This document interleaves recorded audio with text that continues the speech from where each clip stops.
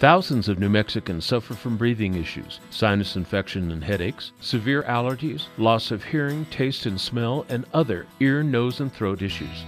The good news is there's help. The New Mexico Sinus Institute. I love helping people and I love watching them get better.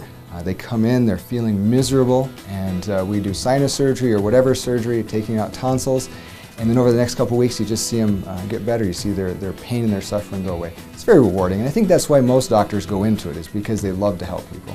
We see people from pediatric patients with need their tonsils out, all the way up to older people who have hearing loss. Um, and then the procedures, it's fun to be able to take care of people and, and actually do something that's going to make a difference, in usually a relatively short amount of time.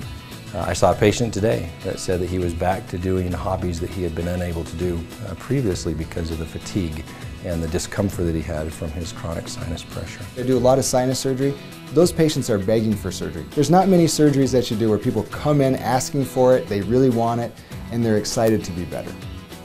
If you need to see an ENT, this is the place you want to go.